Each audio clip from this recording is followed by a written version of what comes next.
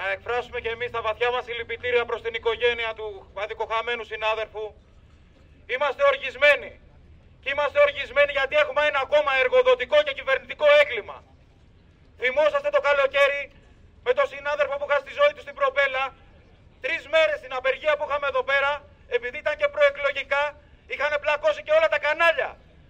Αυτό το εργοδοτικό έγκλημα, όπως παράδειγμα το άλλο εργοδοτικό έγκλημα στην αναπηγία της Ελευσίνας, συγκαλύπτεται και από την κυβέρνηση και από την εργοδοσία και από, το, από την πλειοψηφία των μέσων μαζικής ενημέρωσης.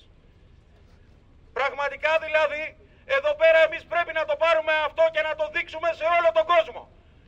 Η οργή μας αυτή είναι να, να μην μείνει, να μην συγκαλυφθεί αυτό το έγκλημα. Στο βωμό του κέρδους, για να βγάλουν περισσότερα οι εργοδότες, με, με στήριξη την, την εκάστοτε κυβέρνηση, πατάνε πάνω στις ζωές μας. Δεν πρέπει να το επιτρέψουμε αυτό. Τι τους ενδιαφέρει; Να τελειώνουν πιο γρήγορα τα καράβια και θα κατευτεί ένα-δύο ρε παιδί μου άτομα ακόμα σιγά. Αναλώσιμοι είμαστε για αυτούς.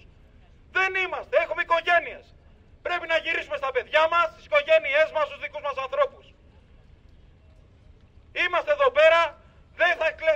θα κλάψουμε το νεκρό μας, αλλά δεν θα μείνουμε σε αυτό.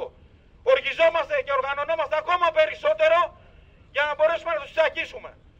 Δεν έχουμε άλλη επιλογή.